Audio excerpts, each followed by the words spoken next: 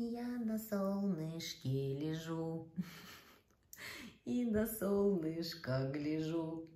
Все лежу и лежу, и никому я не жужу. Да, Люша? Ой, вот так целый день, где захотела, там и упала. Шла-шла, брык, все. Обходите меня стороной, как хотите. Да, Плюш? Плюша, пошевелись хоть.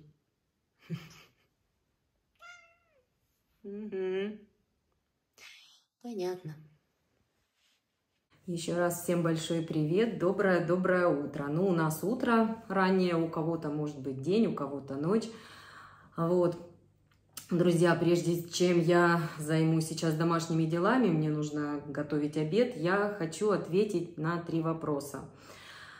А, которые поступили под последним видеороликом. Значит, Оксана Горшкова спрашивает, «Э, Наталья, расскажите, пожалуйста, как правильно исповедоваться и причащаться? Оксаночка, я вам так скажу, я не хочу никого учить, да, я не хочу давать никаких советов, вот, я вам могу только рассказать, как делаю это я. Как правильно исповедую, исповедоваться? Э, главное, чтобы это все было от души. А, церковь – это лечебница, да, и приходя на исповедь, а, вы должны ну, открыться как бы полностью, да, всей душой. Священник – это как проводник между Богом и нами, да, и вы священнику должны рассказать все о наболевшем. Вот. Если вы не можете проговорить это своими словами, как, например, э, было у меня в первый раз, когда исповедовалась несколько лет назад, да, э, я, не, я настолько, вот у меня тряслось все внутри, мне настолько было страшно, я не могла проговорить это. То есть в нашем храме разрешается написать все на листочке. То есть э, прям вот берете листочек и пишете «каюсь в грехах своих» и перечисляете там «сквернословила», «осуждала», там «лгала», и так далее. То есть вот все свои грехи, которые вот ваши, которые они у вас в душе просто горят, да, и вы хотите исповедаться перед причастием, а, вы не должны ни в коем случае ничего утаивать. Вы должны вот просто как на духу все, что у вас в душе э, накипело, да, вы все должны это на исповеди рассказать священнику. Не можете рассказать, напишите в записочке. Вот, э, я когда первый раз исповедовалась, пока, вот, когда священник накрыл меня эпитрахилией, пока он читал мои грехи, просто у меня слезы градом текли, и внутри все горело, кипело, и было очень стыдно. Стыдно, в первую очередь, перед Богом, да. Вот, хотя он и так знает все. Мы только встали с утра, подумали, он уже знает все наши помыслы, и все наперед, скажем так, вот, от него ничего не утаишь. Ни один волос не упадет с головы а, без его, скажем так, ведома, да. Вот, поэтому главное, чтобы все было от души. А, готовиться к причастию нужно три, три дня попаститься нужно. А, вот, э, потом э, существует э, в каждом, ну, я думаю, что у каждого верующего человека есть дома молитвослов, да, и в каждом молитвослове есть каноны, к причастию и последования к причастию. Вот их нужно за вот эти три дня, можно постепенно, каждый вечер по чуть-чуть, да, можно сразу, если у вас хватит на это силы э, духовной, да, и телесной, вот, вы можете, ну, как-то готовиться постепенно, как, например, делаю я. Если я знаю, что в воскресенье буду причащаться, я уже начинаю с четверга, начинаю поститься, начинаю постепенно вычитывать молитвы. Допустим, в четверг я могу каноны в пятницу почитать, в субботу последование к причастию. Вот. И обязательно накануне причастия, то есть в субботу обычно у нас это вот в 3 часа дня, вечерняя служба, нужно постоять на вечерней службе, вот, то есть полностью подготовиться, да, и в воскресенье уже прийти рано утром на исповедь, естественно, ничего не кушать с утра натощак, да, вы должны прийти на исповедь, э, исповедаться и затем уже во время литургии причаститься. Вот, думаю, на ваш вопрос я ответила. Следующий вопрос э, задала Марина Кузнецова. Как правильно в храме э, благодарить служащих и можно ли одновременно ставить свечи за здравие и за упокой? А, Мариночка, я не совсем поняла ваш вопрос, как правильно в храме благодарить служащих. Да, обычно, обычно по православному, если вы в храме обратились к кому-то, да, и кто-то вам помог, мы обычно как говорим, спаси Господи, да, спаси тебя Господь, что имеем в виду. Вот. А, вообще, знаете, слова, слова, они очень, вот если вдуматься, я раньше не задумывалась, а на самом деле они имеют такой глубокий смысл, да, вот мы просто даже говорим спасибо, да, спасибо, спаси Бог, поэтому мы говорим в храме спаси Господи, вот, да, или там, к примеру, воскресенье, да, Христос воскрес, воскресенье, каждое воскресенье мы, для нас это как маленькая Пасха, мы празднуем, да, этот день, вот, э, или там, допустим, целоваться, да, то есть целоваться со своим там мужем, да, с женой, то есть стать одним целым, вот. Или какие еще есть вот слова интересные, я недавно задумывалась, знаете, это очень интересно. Или человек, да, человек, век проживи, вот чело, вот, очень тоже интересно. Или само слово причастие, причащение, да, то есть э, это значит быть частью Бога, быть э, одним целым с Ним. Вот. И, или когда говорят э, раб Божий, да, раб Божий, это не имеется в виду, что вот я там раб Божий, да, ну то есть э, с одной стороны, да, если я служу Богу, я раб Божий, но я это больше, знаете, как э, а, подразумеваю, как раб это соработник, то есть, если Господь дал нам заповеди, да, и если мы стараемся выполнять эти заповеди и жить по ним, то мы являемся соработниками Божьими. И э, благодарить от души главное, да, и ставить свечи за здравие, за упокой, ну а почему нет, да, вы подошли к одним иконам, вы поставили свечи о здравии своих родных и близких, да, да там помолились за них, а к поминальному столу вы подошли и поставили свечи за упокой своих усопших сродников. То есть э, не вижу как бы в этом вопросе ничего такого, что как бы можно ли одновременно. Конечно, можно, если вы пришли на литургию, пришли в храм, помолились там, помолились здесь. Вот. Главное все от души, главное все, друзья, от души. Вот, и еще хочу ответить на один комментарий, очень длинный комментарий, а, который я а, не могу на него не ответить. А, вот Алла Остапчук написала. Сам себе не соврешь. Вот видите, инстинкт душевный работает. Наталья открыла кулинарный канал, а на кулинарном канале показывает, как она каждый день расчесывает волосы, красит губы, собирается петь в клуб. Конечно, это видео не набирает лайков. Вот она начала рассказывать всем, как она ходит в церковь и верит. Люди ведутся, но это недолго. Снимает себя, как она там поет, уже дает даже уроки правильного поведения и верования. Это все за лайки. Очень прискорбна Наталья, но искренняя и чистая вера, она в душе человека. Там, в тайне души, а не на показ. Э, вернее, там, в тайне души, а не на показ. А, потому и называется святое таинство каждой души. Да, это тайна, когда открываешь свою душу перед нашим Господом и просишь прощения и помощи за свои грехи. Это не объяснить словами, это нужно чувствовать, верить, каяться и всегда быть угодным Богу. Это сокровенное таинство души. Но не на выпендрешь и не перед зеркалом смотрите, мол, какая я красивая. Мне стыдно за тебя, Наталья. В каждой церкви продается литература, азы православия и так далее. Там все конкретно написано, как вести себя в церкви, молиться, готовиться к причастию и так далее. Надеюсь, Наталья, что вы своей святостью и верой в Бога не удалите, не уничтожите мой комментарий. А, Алла, э, я не только не уничтожу ваш комментарий, я и не собираюсь этого делать, потому что это ваше мнение, оно имеет место быть. А, здесь в этом комментарии не последовало никаких оскорблений в мою сторону, за что уже спасибо. Да? Я удаляю комментарии и блокирую людей, только те, от которых конкретно идут оскорбления или проклятия. Вот. А, что касается вашего комментария, я мне хотелось бы прям, вот знаете, пошагово ответить. А, во-первых, как вести себя в церкви, и как готовиться к исповеди, к причастию, а, я с вами согласна. В храме, в любом храме всегда продается православная литература, воцерковление, азы православия. Я с вами согласна. Люди могут, если захотят, купить и э, все это изучать. Да и на просторах интернета очень-очень много сейчас вопросов, ответов. Э, пожалуйста, на любой, как говорится, вкус и цвет.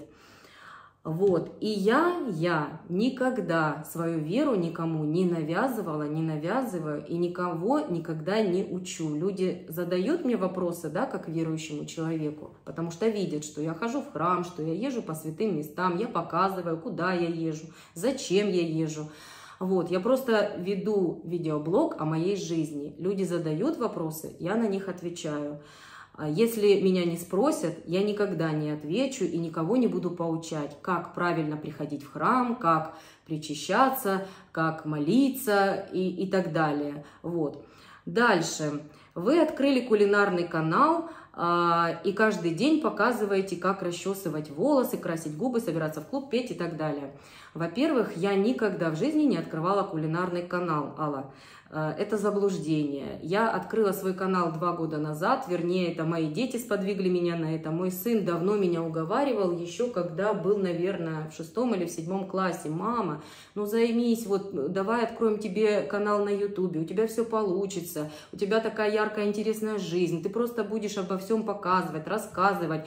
Вот, и как бы это, это говорит, неплохой заработок, это неплохие, неплохая инвестиция в старость. То есть меня долго очень уговаривали дети. Я не решалась, я не решалась, э, потому что, ну, как бы думала, да нет, YouTube, это все, это не мое, и я не смогу, и как так. Я потом, вы знаете, я очень а, много советовалась с другими блогерами. На тот момент уже была блогером моя вот Кумуля Ритуля, которая крестная мама моей Танюшки, да, и я спрашивала, говорю, Кума, вот я не знаю, получится ли у меня или нет. Она говорила, у тебя все получится, ты начни и посмотришь, тебе понравится. И я очень ее благодарю, потому что а, первые мои подписчики пришли ко мне благодаря моей кумочке. Спасибо, Кумулечка, тебе огромное. Я знаю, что ты это этот ролик увидишь.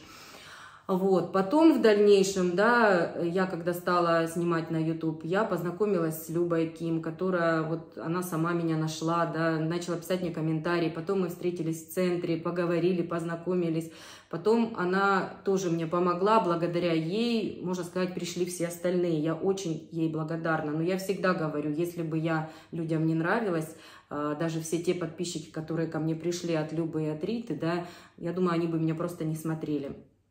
Вот. И кулинарный канал я никогда не открывала. Изначально, когда мой сын открыл мне мой канал, он назывался «Наталья Лим. Видеоблог о моей жизни». И если вы посмотрите самое первое мое видео, где я вот здесь, на этом месте сижу в красном платье, и мое знакомство со зрителем, я там говорю, что э, всем привет, я мастер маникюра, педикюра, наращивания ногтей. На этом канале вы увидите все, чем я занимаюсь, чем я живу, да, мои кулинарные способности, то, как я пою. То есть мой канал все про все и обо всем. И если я показываю в видеороликах, как я готовлю, да, там иногда какие-то блюда, которые, в принципе, вот в жизни все мы, каждый день мы готовим, да, ну, э, я не знаю, почему вы сделали такие э, выводы, что у меня кулинарный канал. Что касается расчесывания волос и то, что я крашу губы, э, ну, извините, я люблю за собой ухаживать, да, я крашу губы, да, я показываю зачастую в своих роликах, как нам, женщинам, ухаживать за собой, и как нам, женщинам, научиться любить себя и уважать себя, вот, и некрасивых женщин не бывает, бывают неухоженные, вот, и не вижу в этом ничего плохого, и по-вашему, если я человек верующий, мне что, надеть, значит, платок, здесь, значит, все вот такую сделать себе морду кирпичом. Все, я теперь верующая, ко мне вообще никто не подходите, я тут вообще я не крашусь, я не пою, и я вообще ничего не делаю. Я только хожу вот и, и молюсь, и молюсь, и молюсь. Я не монахиня. Я в прошлом видеоролике говорила, что я не святая, я живая, грешная.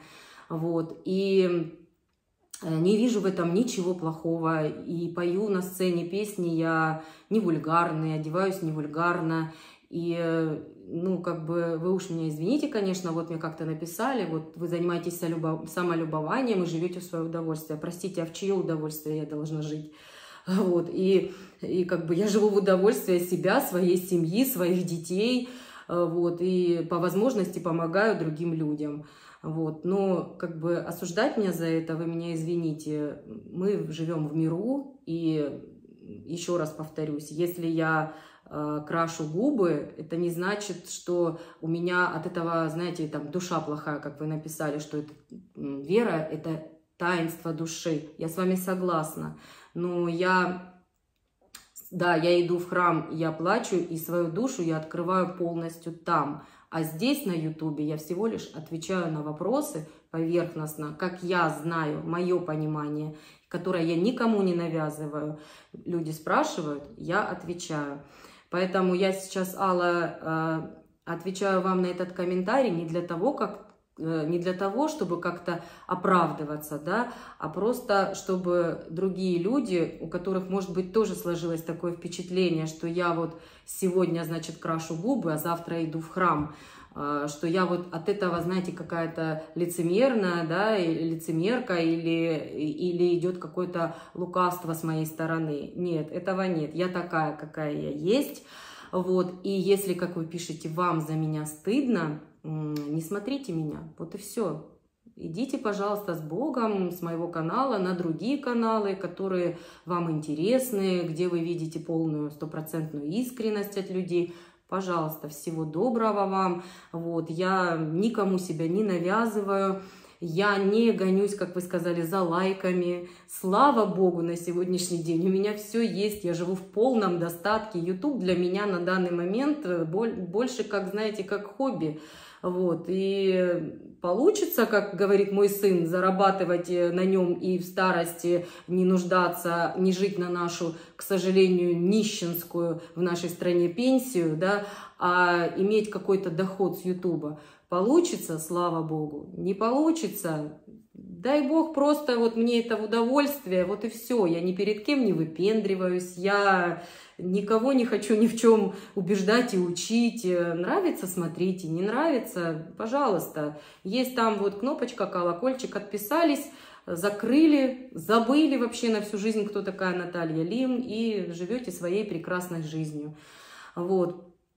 Поэтому мы вот, знаете, э, недавно даже вот с Любой разговаривали, да, с Любой Ким, а, я говорю, Люб, вот знаешь, э, не знаю, меня, я очень ей благодарна, в первую очередь за то, что, знаете, она мой мотиватор. И вы не представляете, сколько раз я хотела закрыть канал и удалить вообще все видео. Но она мне всегда говорила, Наташ, люди разные, людей много. И, э, ну, злые люди, я прекрасно понимаю, что они в этом не виноваты. Там бесики крутят, вот.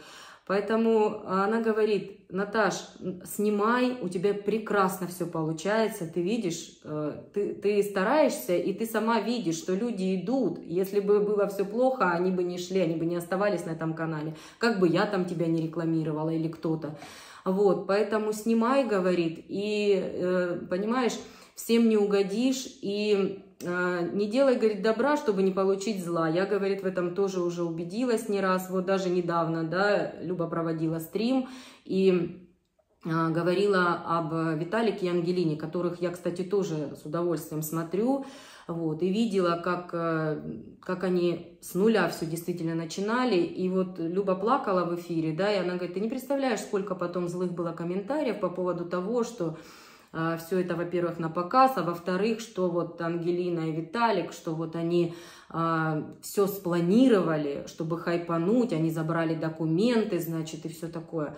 Вот знаете, я, конечно, тоже в свое время а, хватанула, скажем так, от своей доброты какой-то, да, когда история касалась э, Кристиночки, Царствия и Небесное, вот, и просто хотелось помочь человеку хоть как-то. А мне там потом столько комментариев прилетело, и мошенница, и попрошайка, и там, и все такое, которое я, конечно же, удалила, людей заблокировала, вот, потому что я не раз говорила, что я не допущу грязи на своем канале. Вот. И что касается Виталика и Ангелины, у людей действительно горе, и знаете, хайповать на этом и делать это все запланированно, я считаю, что когда я смотрела, когда этот Виталик своими руками, э, просто избивая их в кровь, на вот этих коленках кровяных ползал, э, укладывал эту плитку, строил этот дом, эту баню, этот бассейн, сколько он вложил туда своего труда, этой любви своей, души своей, и Ангелина ему во всем помогала. И взять сейчас вот просто оставить всех там животных в доме, да, своих, под, поджечь, взять документы, уехать в гости, то есть планировать это все ради хайпа, ради лайков, ради того, чтобы заработать на ютубе, ну, вы меня извините, это просто как-то, я считаю, ну, это не по-людски даже думать так. Это не по-людски. Это, я не знаю, у меня просто не, не было слов, когда я смотрела. Вот. И поэтому мы поняли с Любой одно. Всем всего не докажешь. И доказывать, наверное, не надо. Кто нас любит, пожалуйста, смотрите. Кто нас не любит, пожалуйста, не смотрите, отписывайтесь. Мы никому зла не желаем.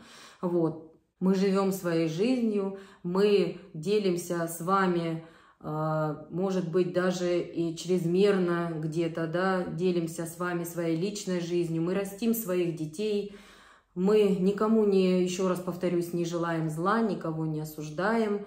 Вот. И хочется только одного, чтобы в этом и так, знаете, сложном мире люди просто стали хоть чуточку, хоть чуточку, хоть капельку друг другу добрее. Вот. И если вам что-то не нравится да, в людях, ну, постарайтесь пережить это как-то сами, в своей душе. Вот. Не обязательно ставить нас об этом в известность. Надеюсь, друзья, я ответила всем э, на вопросы. Вот. И в конце, да, э, в завершении моего такого, скажем, монолога, хочется, наверное, как-то себе и вам поднять хоть немножко настроение. А как можно его поднять? Будем петь, друзья. Песен я знаю много, и современных тоже. Вот мне часто говорят, Наталья, почему вы не поете молодежные песни? Да пою я молодежные песни, прекрасные песни, много хороших песен, но э, много и таких, которые, знаете, сейчас вот, ну, мне не хочется их петь. Я люблю песни душевные, вот, и поэтому спою сегодня для вас э, песня Рады Рай «Два берега». Ночь была с ливнями, и трава в росе. Про меня счастливая говорили все, И сама я верила сердцу вопреки. Мы с тобой два берега у одной реки. Утки все парами, как с волной волна. Все девчата с парнями, только я одна. Я ждала и верила сердцу вопреки. Мы с тобой два берега у одной реки. Я ждала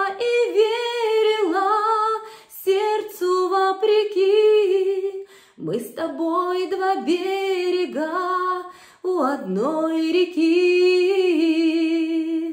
Ночь была, был рассвет, словно тень крыла. У меня другого нет, я тебя ждала, все ждала и верила сердцу вопреки. Мы с тобой два берега у одной реки. Все ждала и верила сердцу вопреки. Мы с тобой два берега у одной реки. Так что вот так, друзья. Всем желаю хорошего настроения, хорошего дня. Река – это жизнь. И мы с тобой два берега у одной реки. Как ни крути, мы все, друзья, с вами люди. И давайте жить по-людски, по-человечески. Все, сейчас мне нужно заняться обедом. На обед сегодня решила Леша сделать обычный соус. Кусок говядины порезала кусочками. Сейчас обжарится, добавлю морковь, специи, картошку. Мяско слегка обжарилось. Теперь сюда бросаю лук, морковь. Лук половинки. Причину вы знаете. Мелко не могу его покрошить. Чуть-чуть адыгейской соли. Потом буду засаливать по вкусу. Черный перец. Красная паприка сладкая, не острая паприка. И чуть-чуть сушеной аджики. Все, поджариваем дальше. Морковочка чуть поджарилась. Добавляю воду.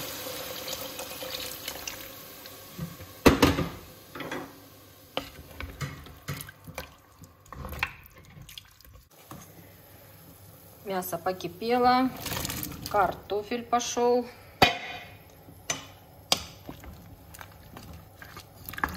Все, закрываем крышкой и тушим.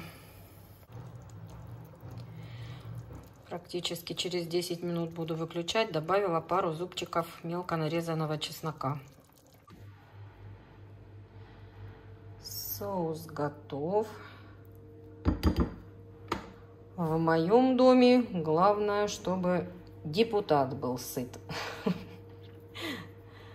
Тогда можно жить спокойно и заниматься своими делами дальше. Приятного аппетита всем, кто ест. У Леши соус, а у меня моя любимая хамса. Сейчас сезон, что хамса, что селедка жирная, вкусная, просто обалденная. Мне, честно сказать, если есть такая рыба в доме, мне и черная икра не нужна. М -м -м. Кайф.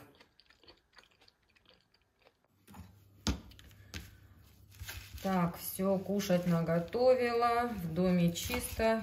Можно немножечко и собой позаниматься. Сейчас, друзья, у нас зима. И кожа очень сухая на лице. Вот хочу, у меня тут залежалась в холодильнике уже такая, начинает жухнуть петрушка. А, если помните, я вам показывала мою книгу рецептов. Не мою книгу, а книгу рецептов для красоты, которая у меня имеется. Вот, и я уже вот этот рецепт когда-то делала, мне очень понравился. Хочу сейчас повторить. Просто вот так нужно для начала мелко нашинковать петрушку. Вот. Чем мельче, тем лучше.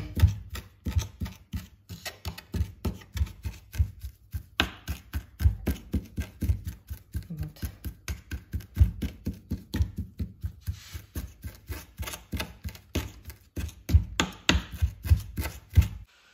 Вот. Дальше я эту нарезанную петрушку заливаю кипятком. Соотношение один к одному. Ну, вот примерно сколько у вас петрушки, столько должно быть и кипятка. Все. Перемешала. Накрываю полотенчиком и пусть это все постоит полчаса. Вот, друзья, полученный отвар я процедила, разлила по вот таким вот ячеечкам. И поставлю в морозилку. Вот, и каждый день хорошо вот этими кубиками льда протирать лицо. А, ну, я думаю, что этот э, рецепт не новый, многие о нем знают. И он проверенный, старый, хороший рецепт. Вот, но то, что он замечательно действует на кожу, я убедилась на себе. А, вот, э, во-первых, кожа меньше шелушится, она бархатная, и петрушка еще обладает очень хорошим отбеливающим средством. Поэтому вот так, друзья. А, напоследок хочу сказать, а напоследок я скажу, напоследок хочу сказать вам, друзья, что самое главное в этой жизни, да, нести в эту жизнь добро, заниматься тем, что нравится тебе, а не в угоду кому-то, да, э, ухаживать за собой, в каком бы возрасте вы не были, чем бы вы ни занимались, милые женщины, ухаживайте за собой. Себя нужно тоже любить, и живем мы один раз, вот, и поэтому э, я очень хочу, чтобы вы все относились э, к жизни как-то с любовью и к жизни, и к себе, вот. И самое главное, никого не осуждали. Вот. У каждого свой путь, у каждого своя жизнь, и каждый ответит за свою жизнь сам. Вот. А то, знаете, у нас многие э, к Богу относятся как к спонсору. И приходят в храм один раз в год на Пасху куличи свои побрызгать, да, еще и зачастую даже не заходя в храм, во дворе побрызгают и уходят. И относятся к Богу как к спонсору. Вот ты мне дай, ты мне, Господи, дай, когда мне надо. А прийти просто поблагодарить, постоять литургию, поставить свечи, помолиться, поблагодарить, сказать, Господи, да спасибо Тебе, что начался новый день, что я вижу, слышу, что у меня есть руки, что, руки, что еще ходят ноги. А, что рядом родные и близкие и за многое другое. Вот, к сожалению, мы все время ищем отговорки, у меня нет времени ходить часто в храм. А, я думаю, что просто нет желания, потому что кто хочет, тот всегда найдет время.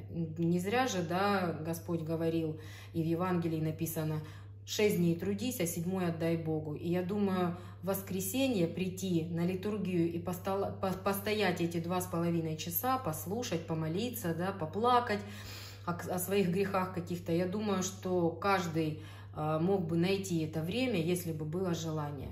Вот. Но я не хочу никого осуждать, я не хочу никого судить. Еще раз повторюсь, каждому будет дано по вере его. У каждого своя жизнь, каждый занимается тем, чем хочет. Вот, все, друзья. Прошу отнестись с пониманием к моему сегодняшнему ролику. Всех люблю. Всем хорошего настроения. Всем пока. До новых встреч.